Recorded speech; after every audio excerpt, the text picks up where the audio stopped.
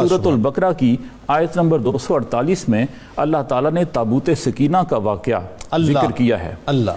हज़रत आदम सलाम पर अल्लाह ताला ने एक संदूक शमशाद की लकड़ी का बना हुआ उतारा था जिसमें अम्बिया किराम की तस्वीरें थीं और हमारे आका मौला सल्लल्लाहु अलैहि वसल्लम की भी एक शबीह मुबारक थी। आप हालत नमाज़ में थे और आपके असहाब आपके इर्द गिर्द हल्का बनाकर तशरीफ़ रखते थे।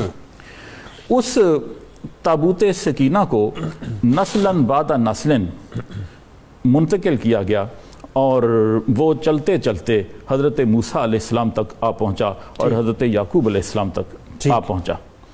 उसमें तमाम अम्बिया कराम के तबर्रुकात थे। हज़रत मूसा अलैहिस्सलाम का असा था। हज़रत मूसा अलैहिस्सलाम तौरात की तख्तियाँ उसमें रखते थे।